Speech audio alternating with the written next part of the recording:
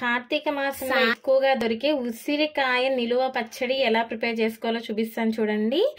పర్ఫెక్ట్గా first time చేసే వాళ్ళు కూడా ఏ మాత్రం భయపడకుండా పర్ఫెక్ట్ చేసుకోవచ్చు. ప్లాస్టిక్ కంటైనర్లో అయినా సరే గ్లాస్ జార్లో అయినా సరే స్టోర్ చేసుకుంటే కనుక సంవత్సరం పాటు ఖచ్చితంగా నిలవ ఉంటుంది. ఎవరైనా సరే పర్ఫెక్ట్గా ప్రిపేర్ చేసుకోవచ్చు. సో మీరు కూడా ఈ కార్తీకంలో ఖచ్చితంగా ట్రై చేయండి. చాలా టేస్టీగా ఉంటుంది. చాలా బాగా వస్తుంది. పచ్చడి చూడగానే నోరు ఊరిపోతుంది కదా. సో మీరు కూడా ఖచ్చితంగా ట్రై చేయండి టేస్ట్ చేయండి. ఒక కేజీ ఉసిరికాయలు తీసుకోండి. ఇవి పెద్ద ఉసిరికాయలు వీటిని రాసి ఉసిరికాయలను కూడా అంటారు. సో మనకి కార్తీకం టైంలో ఎక్కువగా దొరుకుతుంటాయి. సో పచ్చడి చేసుకోవడానికి ఇది కరెక్ట్ టైం అండి.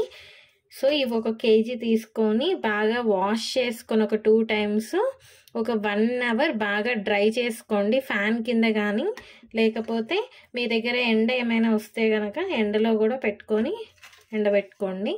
ఇలా ఒక వన్ అవర్ డ్రై అయిన తర్వాత ఇలా కొంచెం ఘాట్లు పెట్టుకోండి కాయకి. ఆల్రెడీ వీటికి మార్క్స్ ఉంటాయి కదా ఆ మార్క్స్ మీదైనా పెట్టుకోవచ్చు. లేకపోతే నాలుగు పక్కల ఇలా ఒక నాలుగు ఘాట్లైనా పెట్టుకోవచ్చు. సో ఇవన్నీ ఘాట్లు పెట్టుకోండి.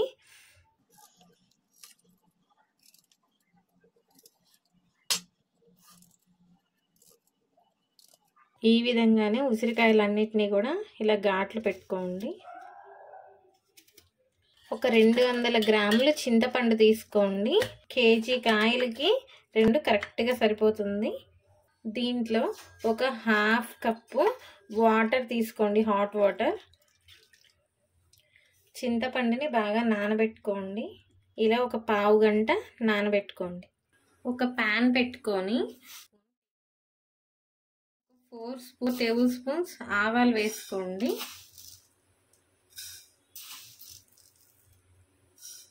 ఒక్క రెండు స్పూన్ల మెంతులు వేసుకోండి. ఇవి ఒక వన్ మినిట్ ఫ్రై చేసుకోండి మీడియంలో పెట్టుకొని. ఇదిగోండి ఆవాలు మెంతులు ఇలా పేలుతుంటాయి కదా ఎర్రగా అయిపోగానే తీసి ఒక చిన్న మిక్సీ జార్లోకి తీసుకొని మెత్తగా పొడి చేసుకోండి. ఇప్పుడు మనం ఉసిరికాయలని గ్లాస్తో కొలుచుకుందాము. అప్పుడు మనకి ఉప్పు కారం కొలతలు అనేవి చాలా ఈజీగా ఉంటాయి. ఇదిగోండి ఇలా గ్లాస్ నిండా వేసుకోండి.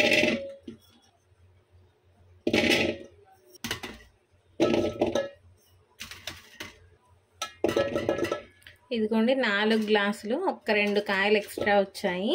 కరెక్ట్గా నాలుగు గ్లాసులు ఉసిరికాయలు వచ్చాయి ఈ గ్లాస్ తోటి. మీరు ఈ గ్లాస్ తోటి ఉప్పు కారం కూడా వేసుకోవచ్చు. ఒక కడాయి పెట్టుకొని మనము ఆయిల్ రెడీ చేసుకుందాము. పచ్చడిలోకి కావాల్సింది. నువ్వుల నూనె అయినా పల్లీల నూనె అయినా తీసుకోవచ్చు. నేను పల్లీల నూనె తీసుకుంటున్నాను. ఒక హాఫ్ కేజీ తీసుకోండి. కేజీ ఉసిరికాయలకి హాఫ్ కేజీ నూనె ఖచ్చితంగా పడుతుంది. నూనె బాగా హీట్ అయిన తర్వాత మనం కట్ చేసి పెట్టుకున్న ఉసిరికాయలను వేసుకోండి.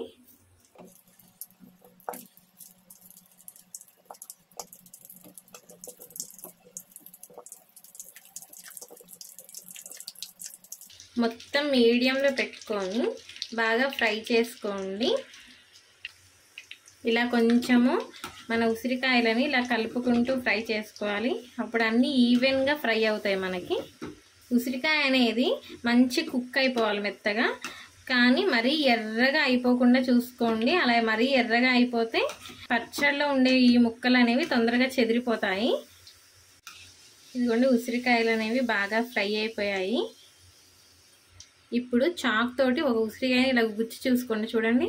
ఇంత మెత్తగా కుక్ అయిపోయిందో. సో ఇలా మంచి కుక్ అయిపోతే కనుక తీసేసుకోండి.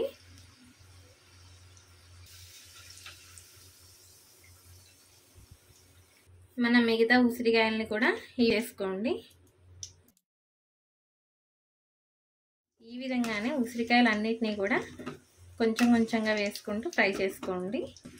పచ్చడి కలుపుకునే గిన్నెలోకి తీసుకోండి. ఈ వేడిగా ఉన్న నూనెలోని ఒక రెండు వెల్లుల్లి గడ్డల్ని ఇలా రెబ్బలు తీసుకొని వేసుకోండి.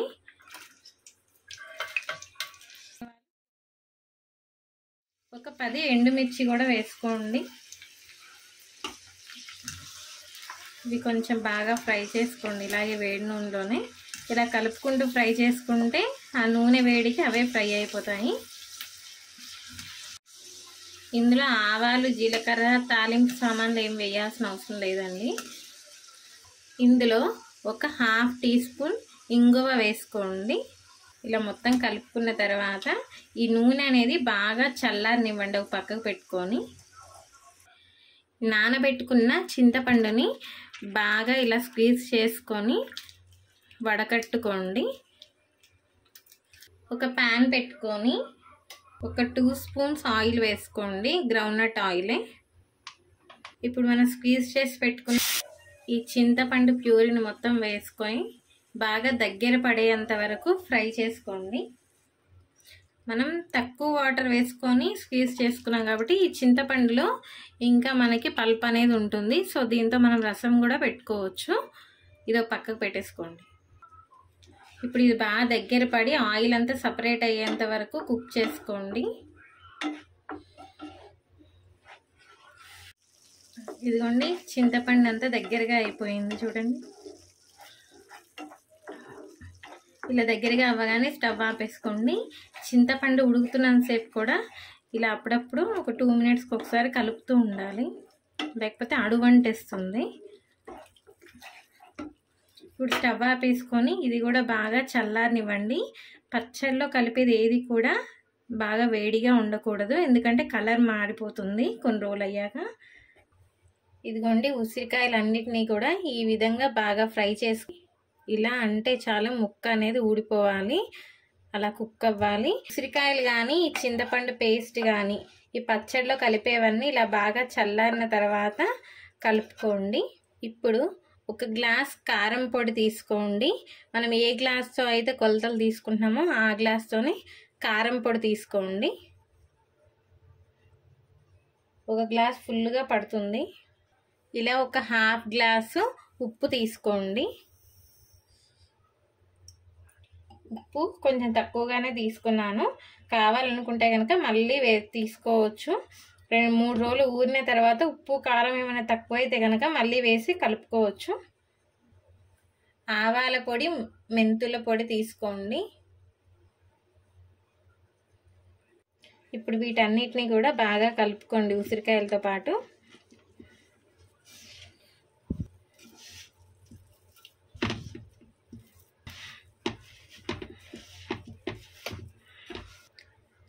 ఇప్పుడు ఇలా కలుపుకున్న దాంట్లో మనం ముందుగా కాగబెట్టి చల్లార్చుకున్న నూనెను వేసుకోండి.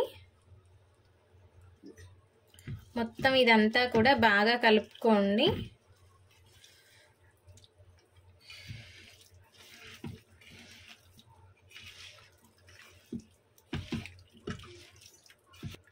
ఇలా చింతపండు పేస్ట్ ఉప్పు కారం అన్నీ బాగా కలిసేటట్టు కలుపుకోండి.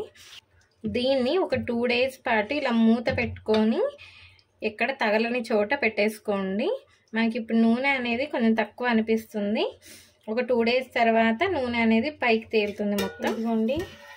టూ డేస్ అయిపోయింది. మనకు పచ్చడి ఊరిన స్మెల్ అనేది వస్తుంది చూడండి. ఆయిల్ అంతా పైకి తేలిపోయింది. సో పర్ఫెక్ట్గా ఆయిల్ సరిపోయింది. ఇప్పుడు మీరు ఇది ప్లాస్టిక్ కంటైనర్లో తీసుకొని వేసుకోవాలి. తీసుకునే ముందు ఒకసారి ఉప్పు కారం అన్నీ ఒకసారి టేస్ట్ చేయండి. ఏమైనా సరిపోకపోతే కనుక ఒక టూ స్పూన్స్ అలా యాడ్ చేసుకోండి. నేను ఇది ఒక ప్లాస్టిక్ కంటైనర్లో స్టోర్ చేసుకుంటున్నాను. మనకి ఇలా కలుపుతుంటే పచ్చడి ఊరిన స్మెల్ అనేది వస్తుంది. చాలా బాగుందండి స్మెల్ అయితే మాత్రం. ఒక్కసారి మీరు టేస్ట్ చేసుకొని ఉప్పు కారం కూడా సరిపోయిందో లేదో చూసుకోండి.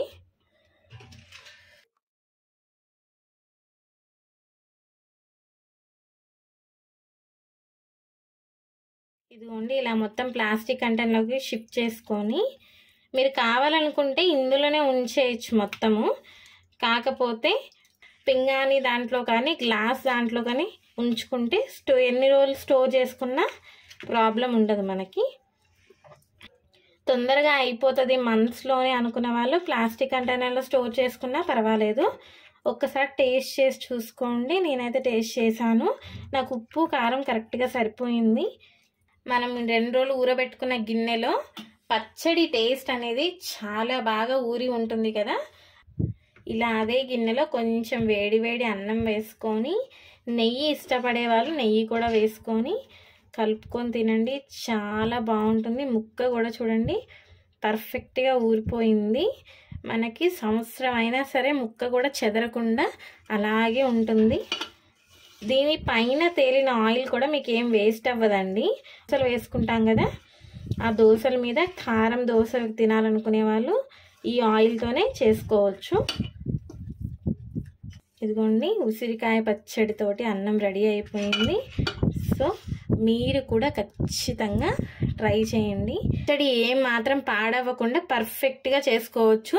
సో మీరు కూడా ఖచ్చితంగా ట్రై చేయండి టేస్ట్ చేయండి.